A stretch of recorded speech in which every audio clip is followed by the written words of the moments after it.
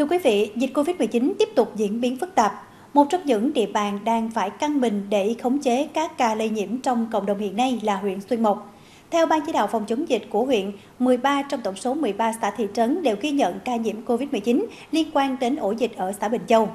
Phóng viên thời sự đã có cuộc trao đổi nhanh với bà Lê Thị Trang Đài, Chủ tịch Ủy ban Nhân dân huyện, Phó Ban chỉ đạo phòng chống dịch COVID-19 huyện Xuyên Mộc đến thời điểm hiện nay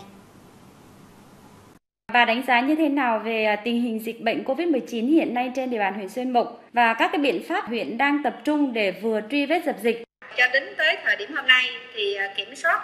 cơ bản cái cái cái nguồn dịch là gồm có là 11 ca F0, 474 à, ca F1 liên quan đến cái dự án có cái số công nhân thì chúng tôi hiện nay đã đình chỉ hoàn toàn các hoạt động của cái công trình này. Đã lấy mẫu test nhanh đồng thời lấy mẫu PCR 985 người đều kết quả âm tính. Thôi là hạn chế cái việc là không cho cái người đi ra ngoài cũng như là người vào trong xã Bình Châu. À, trước khi chúng tôi lấy mẫu toàn dân đánh giá toàn bộ lại hết thì sẽ có cái tính toán là là phong tỏa diện hẹp đối với những cái khu vực nguy cơ. À, đồng thời để cho người dân đó là đặt an tâm và ở tại chỗ ủng hộ chính quyền, thì chúng tôi đã lên cái kế hoạch là sẽ có những cái gói an sinh là 500 ngàn đồng một hộ và à, đề nghị các chủ doanh nghiệp, những cái người cơ sở mà có điều kiện trên địa bàn cũng đồng hành cùng với chúng tôi để đảm bảo cho tất cả những cái hộ dân khó khăn Hiện nay thì à, cả 13 trên 13 xã, thị trấn ở trên địa bàn huyện đã có ca nhiễm Covid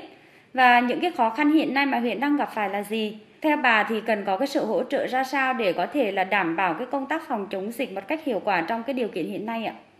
À, hiện nay cái vấn đề chúng tôi đối mặt đó là cái việc mà quản lý cái người à, có cái nguy cơ ngoài tỉnh vào xuyên mộc có hai điểm tiếp giáp đó là đồng nai và bình thuận và chính chốt chúng tôi phải căng mình lên để để mà đối phó với việc này việc thứ hai nữa đó là khi mình mình mở cửa lại những cái hoạt động xuyên mộc là đặc thù là xây dựng những cái dự án lớn rất là nhiều dự án lớn về du lịch cho nên họ cần cái nguyên vật tư vật liệu xây dựng mà cái nguồn cung cấp nguồn hàng đó đều đều đa số là từ các tỉnh thành như là thành phố Hồ Chí Minh là chính rồi Bình Dương và các tỉnh khác của miền Tây. Chính vì vậy là theo chân của những cái xe tải này thì mầm bệnh cũng mang vào và đặc biệt là nếu nếu mà kiểm soát mà quá chặt hoặc là không cho những cái xe tải này á, hạn chế thì cái đó cũng làm ảnh hưởng rất là nhiều đến cái cái việc mà mở cửa để mà ờ, hỗ trợ cho các doanh nghiệp à, cái thứ ba nữa đó là trong một cái tình huống là đồng loạt ờ, có rất là nhiều ca trên các địa bàn xã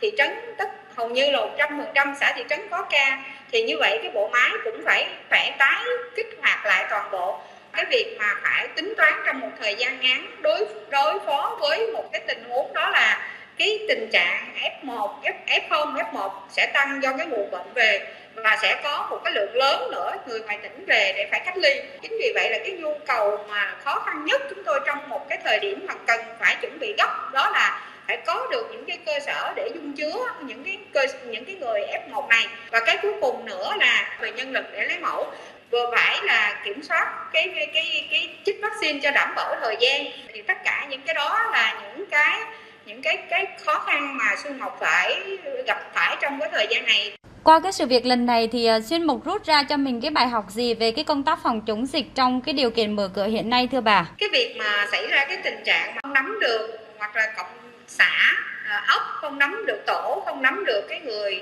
từ ngoài vùng dịch về và đó là một cái cái cái lỗ hổng trong cái công tác quản lý địa bàn và à, tôi chúng tôi cũng mong muốn rằng là kêu gọi toàn thể người dân cũng như là hệ thống chính trị ý thức được cái việc mà bảo vệ sức khỏe người dân trong lúc này phải là nhiệm vụ chính trị ưu tiên hàng đầu để mọi người cùng nhau ý thức và thứ hai nữa, doanh nghiệp, những người quản lý lao động, những cái gia đình có kinh doanh thì không vì cái lợi nhuận của mình mà bất chấp mà phải phối hợp phải phối hợp hỗ trợ và hợp tác cùng với chính quyền để chúng ta có thể duy trì được cái sự bình yên và an toàn cho cho doanh nghiệp mình, sự phát triển cho doanh nghiệp mình mà còn có sự bình yên của người lao động cũng như là cộng đồng. Xin cảm ơn bà đã dành thời gian trả lời cuộc phỏng vấn của chúng tôi.